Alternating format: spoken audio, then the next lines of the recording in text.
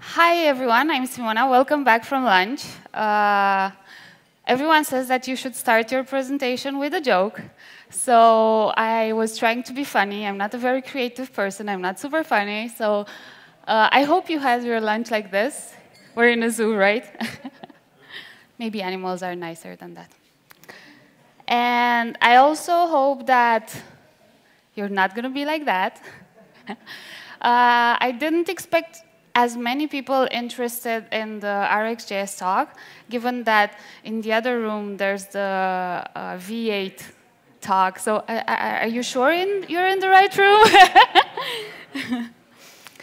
um, okay, cool. So uh, thank you, Rick, for the introduction. Uh, as uh, my, my, name is Simona, and as Rick mentioned, uh, I'm working for Microsoft, even though my badge says Arista Networks. I recently joined Microsoft as a developer advocate. Uh, prior to that, I was a full stack engineer uh, building um, network data visualization tools, which is super cool. I was using both Angular and uh, React for that. And uh, because I'm, super, I'm, I'm, passionate about Angular, I uh, organized uh, in Dublin the Angular JS meetup. And then I'm also um, advocate for uh, women who code. And uh, I hope, like, I, I don't see, can I see the ladies in the room? Woohoo! You're very strong. uh, so as part of me being an advocate for women in tech, uh, I've been um, mentoring at workshops for women who code and NG girls. And I encourage all of you to do that because obviously I guess that all of us want more women in tech. Uh, you can find me on Twitter at Simona underscore Cotin. And um, to set the right expectations, we're not at the V8 talk again. Uh, we're going to quickly look into callbacks, uh, promises, uh, async await, async functions, and then uh, RxJS.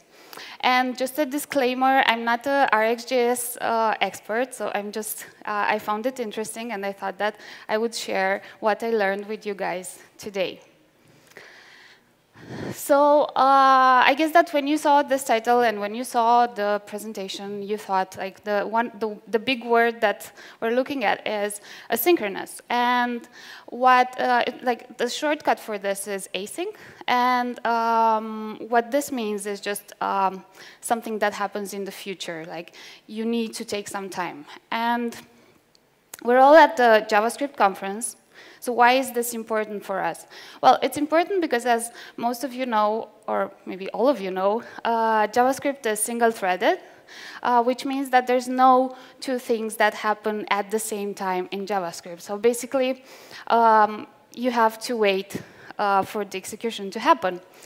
And um, our users, on the other hand, uh, are behaving differently. Like they don't really care about JavaScript not being uh, being single-threaded. They're like, oh, I like this, and I want to do this, and I want to scroll there. And uh, this would put so much pressure on on JavaScript and uh, on our applications. And that's how uh, synchronous got uh, like born. and um, yeah. Um, some examples of uh, async patterns are like the DOM events. Say, for example, uh, you have um, elements like buttons, and you want to react to a click event. That would be uh, a type of asynchronous event. Uh, we also have AJAX uh, requests, and AJAX is a representation of an async pattern. And we also intervals or timeouts, they're, they're also async. And this, this brings me to the Hollywood principle.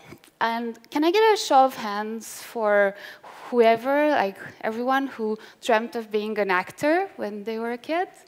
Yeah? well, I, am just joking. Like, how many of you have heard of the Hollywood principle? Okay, cool. So it's going to be news for you, for most of you. Uh, this principle refers to uh, the saying, don't call us, we're going to get back to you.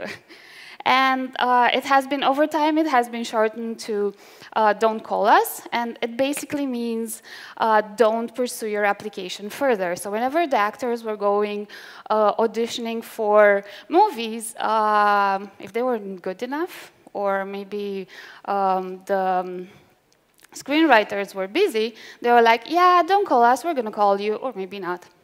And uh, in our context, this basically means that uh, whenever we're executing code, so we're, uh, whenever we're at an async portion, like uh, it's going to get um, executed, and then uh, we're going to come back to it whenever we have a response for that.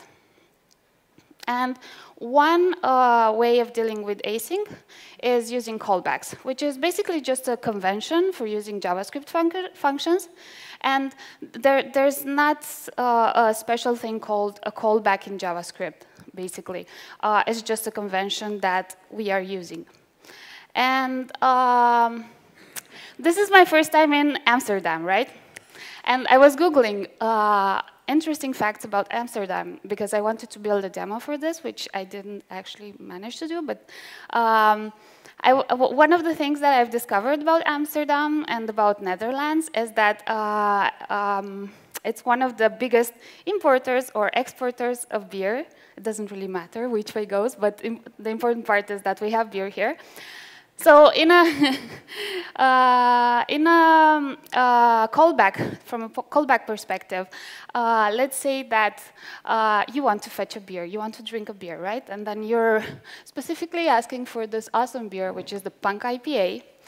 And then whenever you're receiving the details for that, you have a callback, which is a function that receives two parameters.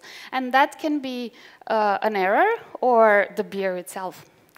And obviously, there's two options. If you have an error, it's like, oh my God, no beer for us. Or uh, you just go ahead and drink the beer. But does this happen to you guys? Whenever you're having a beer, it's like a never-ending game. Let's have another one. And this is very similar to what happens with callbacks. Because you start simple, and then you keep on chaining, and you keep on chaining and you end up with this beautiful code, which is so easy to read and it's so easy to reason about. Not. And this is basically what uh, everyone would call uh, callback hell. And uh, that's because with callbacks, uh, you introduce a nonlinear control flow and uh, you are deferring to execute asynchronously, and you're using functions that are declared anonymously, and obviously you can have uh, arbitrarily nested levels. And all of, this, all of these features of callbacks is what makes the callback hell. So this means that we should look into something better, right? And that's when we've been promised uh, that we're going to get something better. And a promise basically represents the result of an asynchronous operation. And uh, it can have three different uh, states. So whenever the promise uh, is, like the initial state of the promise is pending, and then you can either, uh, it can either be in the fulfilled state, which is, uh, a, it has been a successful operation, or uh, it can be in rejected state, which is basically a failed operation.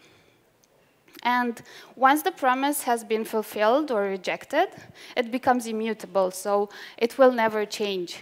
And yeah, the, what the, the important part to, to remember about promises is that they only get executed, like you only get one value from them. And you can never switch from succe uh, success to failure. You cannot merge them. There's nothing you can do there. So this is how basic uh, promise looks like.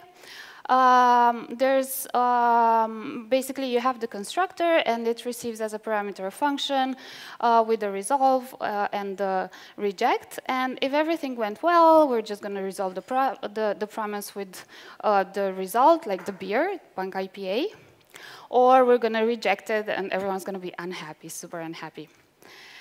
And um, this is how you would use a promise. You call the then method on the promise, and you have a success function, and you have a, a error function.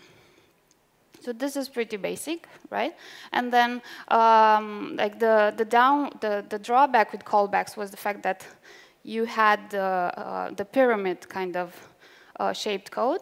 And this is how chaining with promises looks like. It's a bit more readable. We do, I, I don't have here uh, error handling, but either way, like it, it's, it's nicer to read.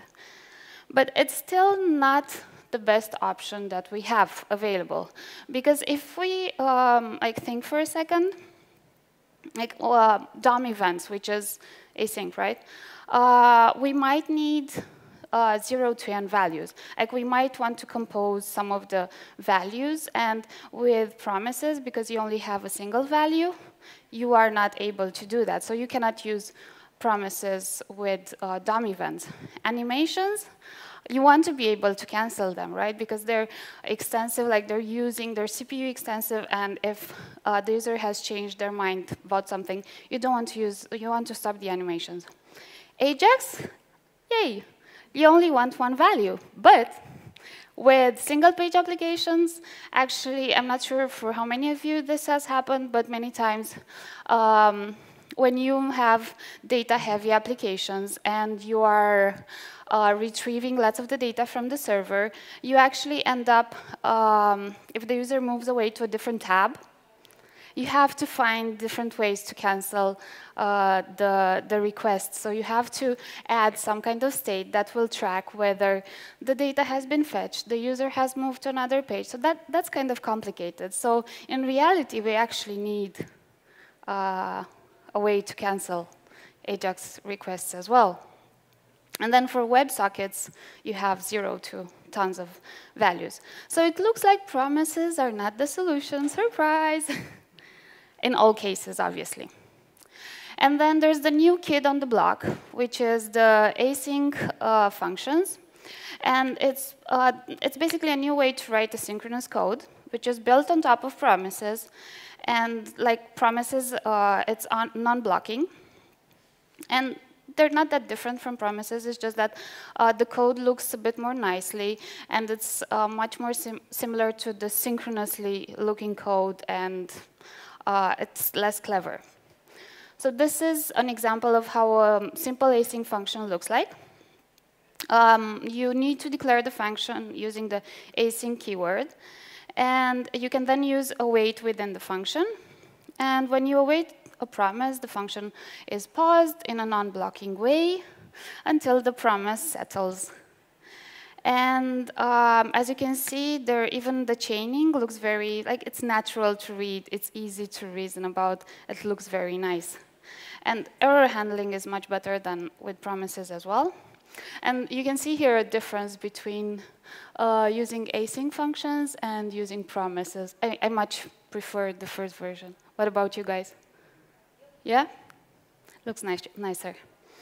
And this is an animation that uh, Wassim created. I'm not sure how many of you guys have seen it on Twitter. It's been around for a while, and it basically showcases just the readability of the code.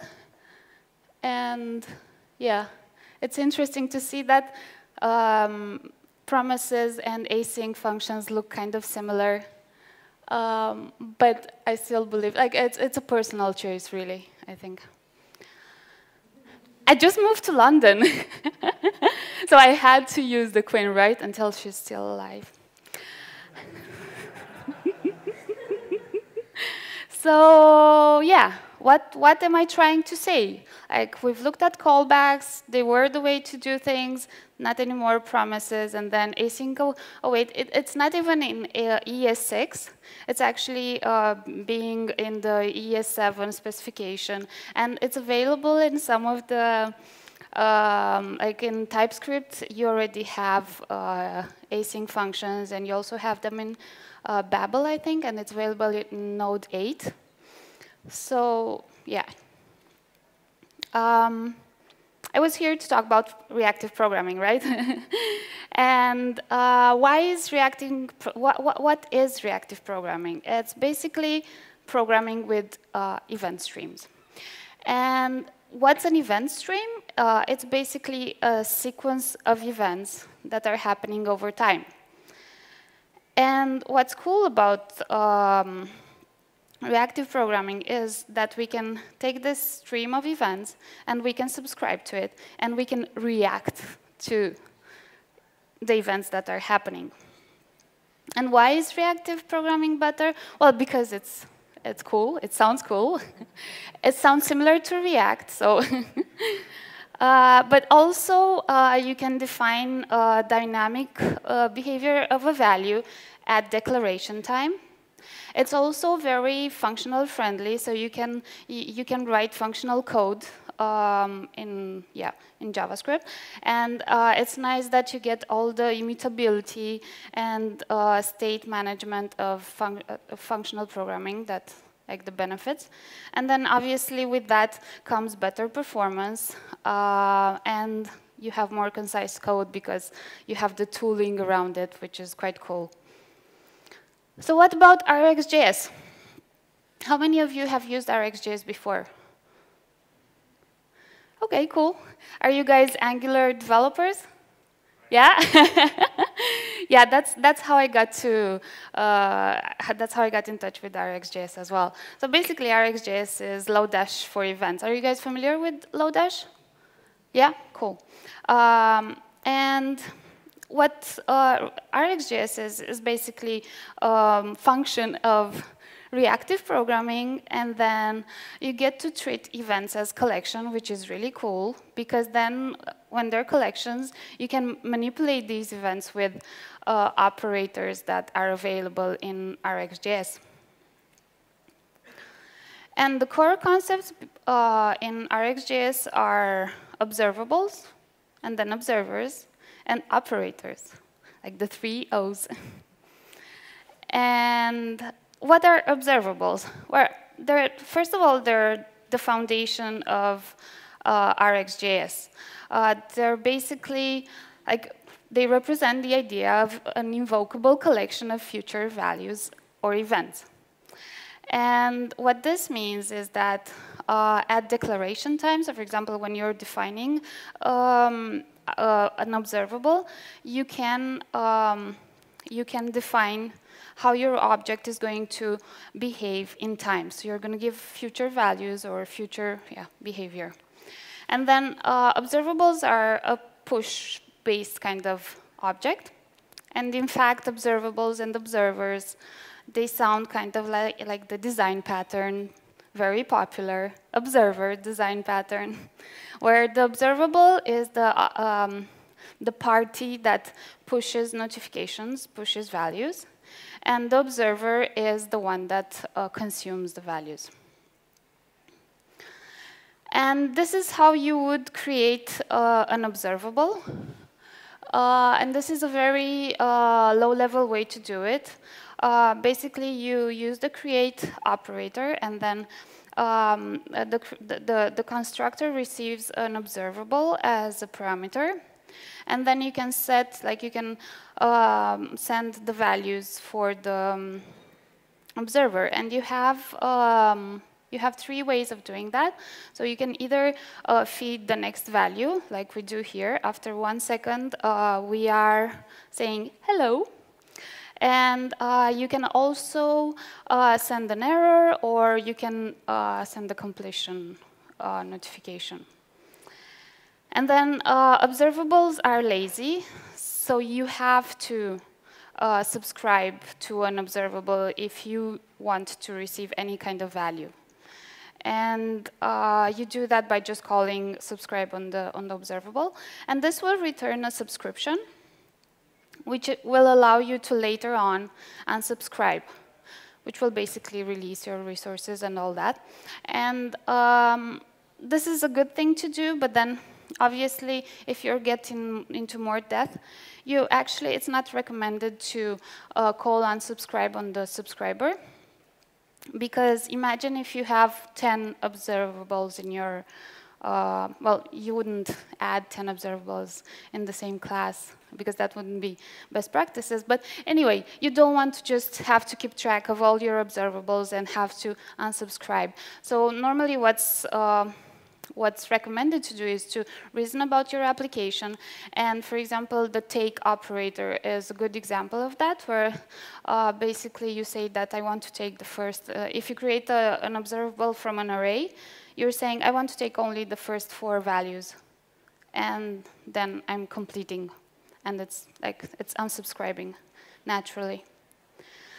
And then there's uh, the more interesting ways to create observables, and that's uh, using operators like from. And you can create an observable from an array. And the difference, like, obviously you have arrays which are, which are like a set of values in space. So for example, if you do console log uh, on an array, uh, all the values will be displayed at time uh, at, in, at the same time, and then uh, an observable of this array will actually display these data, uh, uh, this data over time. So every element will be displayed at a single moment in time. And then you can also create observables from events. Like uh, you, you have a button and you want to react to the click event. So this means that you will uh, create an observable for that. Or you can even use promises to create observables. But I don't have an example for that. So basically, there are three types of values in an observable execution, and um, you can, uh, from an observable, you can emit zero to an infinite number of values. Uh, and once an error or a completion notification is sent, um, I've just been notified that I have 10 more minutes. Uh, nothing else, so once you have error or uh, completion, nothing else will be displayed.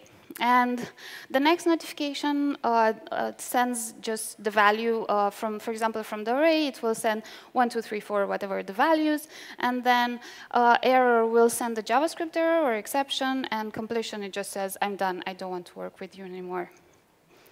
Uh, what about observers? Observers are just consuming the uh, values coming from the observables. And they're uh, basically, they have, they're, they're this um, like function of callbacks where you have the uh, next uh, method where you deal with the value or the error and complete methods which um, like help you deal with these events. And the observer needs to be sent as a parameter to the subscribe function. And uh, uh, RxJS is actually uh, super powerful because of its operators. Even though the observable is the foundation, it's actually the operators that allow you to build powerful uh, applications. And uh, an operator is basically a pure function which takes uh, one observable as an input and it creates, it generates another observable as an output.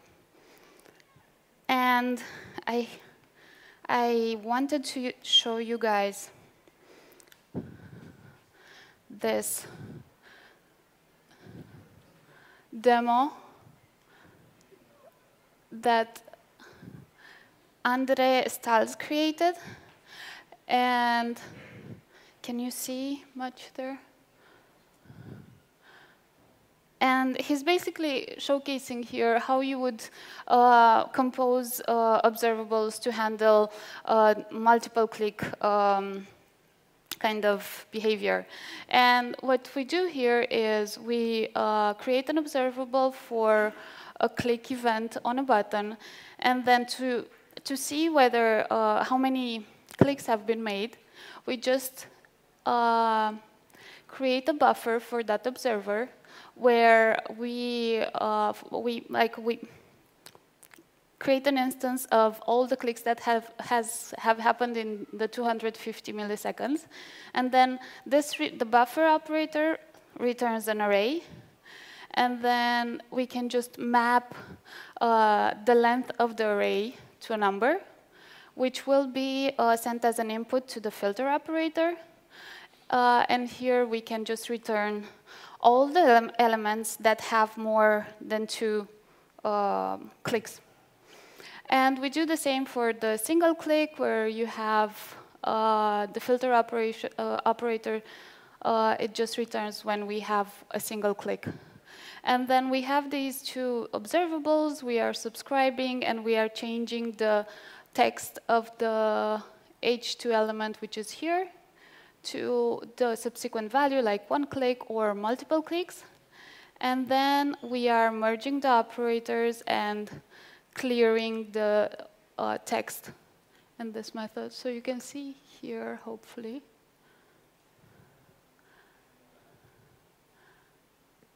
A click has happened. And then three clicks. And then two clicks. It's super addictive. one more. Let's do one more. Yay. OK, so this was the demo that um, like uh, Andre has created multiple resources uh, around RxJS. Uh, you can check him out on um, on egghead.io if you want to learn more about his one of the um, guys that is a main contributor to this library. So we've gone the through the small demo, and basically what you need to know is that there's so many operators, and like 60 plus, and um, you can find them in different categories, like the creation ones, which you've seen, the combination, the merge operation uh, operator, the for filtering, and then you have conditional, and like there's so many. Um, and one way, they're, they're kind of complicated to, to understand. So um, text is not always very helpful. And for that, the RxJS team is using a thing called marble diagrams, where um, the first um, axis is the um, input observable, which has a series of values. And then you apply the multiply by 10 operator. And as you can see, we get uh, the, the value 40 and then the value 60. And because A is not a number, an error has happened there and the execution has stopped. And uh, this is used very heavily when trying to uh, explain or understand operators. And of course, there's challenges with reactive programming as well. Like, there's no solution for everything. There's no perfect uh, way to do things. And one of the most important ones is actually getting into the reactive mindset. And you basically need to give up the imperative way of coding, and you need to um, try to do the declarative way and use these crazy operators and all that. But in time, it pays off. And then uh, the APIs for RxJS are not necessarily the most friendly. The documentation has gotten much better but there's still a huge number of operators, and it's hard to understand all of them and how they interact. Uh, and finally, debugging, which is crazy. like, debugging is the best friend of a programmer, I guess. And unfortunately, with RxJS, it's not that easy. It's gotten better with RxJS 5, but um, we have to use console.log. So that's, that's terrible. Uh, and breakpoints don't really help you. But they're working on an extension, on a Chrome extension, which will help us with that. So summary, callbacks can take you in hell, or to hell, or uh, callbacks are not good enough for us. And then promises, they're good, but they're not always the right tool for what we want to do. So if you, if you want to build highly interactive applications and you have lots of data that's changing over time, your answer is reactive programming and maybe RxJS, but you can, there's different extensions, not only for JavaScript, there's extensions for Java and .NET and all of that, and you can use, use RxJS for that. And remember, everything's a stream, right? This is, I think this is the most uh, like monumental, uh, everyone knows everything's a stream. And that's everything I wanted to share with you guys. I hope you enjoyed my presentation. You didn't regret that you weren't at the V8 presentation. Thank you so much.